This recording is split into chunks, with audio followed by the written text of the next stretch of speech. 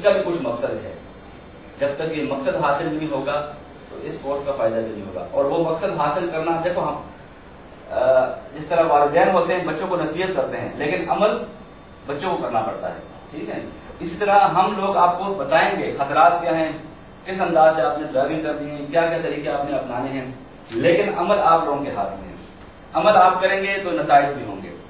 तो मैं सबसे पहले वो